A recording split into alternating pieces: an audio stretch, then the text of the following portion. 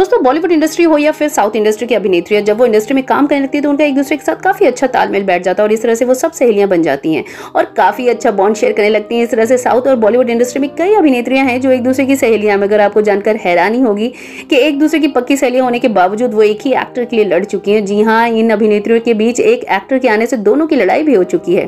तो आखिरकार कौन सी ऐसी वो बॉलीवुड और साउथ की सहेलियाँ जो एक ही एक्टर के लिए लड़ चुकी हैं? आज की इस वीडियो में हम आपको बताने वाले तो देर ना करते हुए चलिए वीडियो स्टार्ट करते हैं। नंबर एक करिश्मा कपूर और ऐश्वर्या बच्चन। जी हाँ बॉलीवुड इंडस्ट्री की बेस्ट एक्ट्रेस करिश्मा कपूर और ऐश्वर्या बच्चन एक दूसरे की पक्की सहेलियाँ हुआ करती थी, पर आपको शायद ही मालूम होगा कि ये दोनों अभिनेत्रियाँ एक ही एक्टर से प्यार कर चुकी हैं और वो कोई और नहीं, बल्कि अभिषेक बच्चन थे।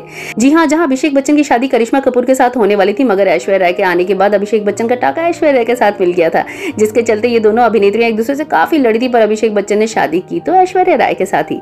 नंबर दो, रीना दत्ता और किरण राव। जी हाँ बॉलीवुड एक्ट्रेस रीना दत्ता और फ़िल्म प्रोड्यूसर किरण राव भी इन अभिनेत्रियों में से एक है। एक अभिनेता के लिए भिड़ चुकी है और वो अभिनेता है बॉलीवुड इंडस्ट्री के मिस्टर परफेक्शनिस्ट आमिर खान जहाँ किसी फ़िल्म में काम करने के दौरान आमिर खान को रीना दत्ता से प्यार हो गया था, जिसके बाद दोनों ने एक दूसरे को डेट किया और शादी भी रचा ली थी। मगर काफ़ी सालों बाद इनकी लाइफ में किरण राव आई, तभी तो जैसे ही रीना दत्ता को किरण राव के बारे में पता चला तो उन्होंने किरण राव को अपने पति से दूर रहने की हिदायत दे दी थी। लेकिन आमिर खान तो खुद ही रीना दत्ता को छोड़ निकल पड़े किरण राव के साथ। नंबर तीन, अमृता सिंह और करीना कपूर। अमृता सिंह और करीना कपूर एक समय एक दूसरे की काफ़ी अच्छी दोस्त हुआ करती थी, मगर एक एक्टर की वजह से इन दोनों की दोस्ती खत्म हो गई थी। जी हाँ बता दें कि वो शख्स अभिनेता सैफ अली खान, जो एक समय अमृता सिंह से बहुत प्यार करते थे और उन्होंने उनके साथ शादी रचाई थी। और जैसे ही सैफ अली खान की लाइफ में करीना कपूर ने दस्तक दी थी तो अमृता सिंह और करीना कपूर के बीच काफ़ी झड़प हुई थी। इसलिए तो आज ये दोनों एक दूसरे की शक्लें तक देखना पसंद नहीं करते। नंबर चार, काजोल और रवीना टंडन। अभिनेत्री काजोल और रवीना नब्बे के दशक की बेहतरीन एक्ट्रेस थी और साथ ही दोनों एक दूसरे के काफ़ी अच्छे दोस्त हुआ करती थी। मगर अजय देवगन की वजह से इन दोनों की दोस्ती तकरार में तब्दील हो गई, जहाँ जहाँ दिलवाले फ़िल्म की शूटिंग के दौरान रवीना टंडन अजय से बेपना प्यार करने लगी थी और अजय देवगन के लिए भी इनकी लाइफ में एक अट्रैक्शन था, इसलिए तो रवीना टंडन का अजय देवगन ने ख्याल रखा। मगर जैसे ही काजोल ने इनकी लाइफ में दस्तक दिया तो वो रवीना को छोड़ काजोल की तरफ़ ध्यान देने लगे, जिसके चलते जैसे ही बात रवीना टंडन को पता चली तो उन्होंने काजोल को अजय से दूर रहने की हिदायत दी। मगर अजय देवगन ने तो काजोल से शादी कर ली। नंबर पाँच, श्रुति हसन और समांथा अक्की नैनी।